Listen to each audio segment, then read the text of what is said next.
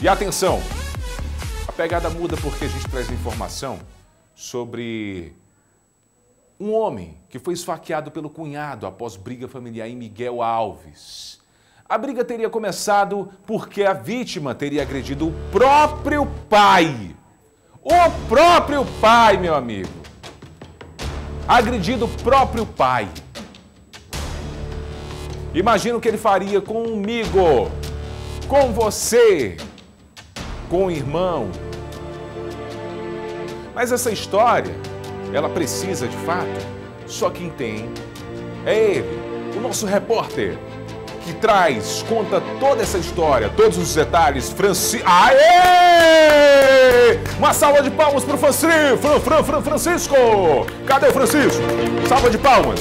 Cadê a nossa palma branca? Aê!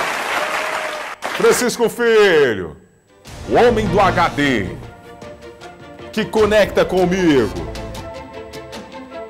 Quem, tem, quem será que tem um HD maior? Quem traz mais. Ah, não, é o Francisco. Ele tem mais informações. Francisco, por favor, conta essa história.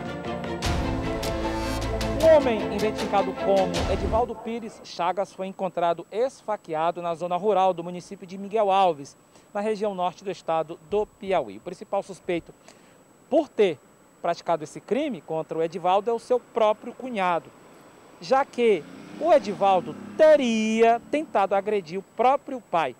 Aí o homem disse: Olha, no meu sogro você não vai bater. E aí, desferindo várias facadas na vítima. Nós recebemos imagens direto lá de Miguel Alves, imagens fortes, parecia até que o homem estava sendo retalhado. Ele até disse ainda: Olha, estou todo esfaqueado, não saiam daqui, porque senão eu vou morrer. As imagens vocês estão vendo aí. Ele foi encaminhado para cá, ó, no Hospital de Urgência de Teresina, passou por procedimentos cirúrgicos e, claro, deve receber alta nas próximas horas. Interessante é que o próprio cunhado dizendo: não maltrate o meu sogro. E aí foi de vias de fato contra o Edivaldo, que por pouco não morreu retalhado com golpes de faca. Rapaz, olha a situação. O caba pegou a peixeira e pensou que estava preparando um churrasco, uma carne para churrasco. Sem dó, sem preocupação.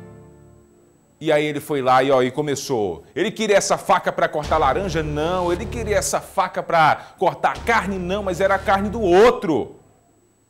Porque o outro foi reclamando, não, não faça isso. Olha até que ponto nós estamos chegando.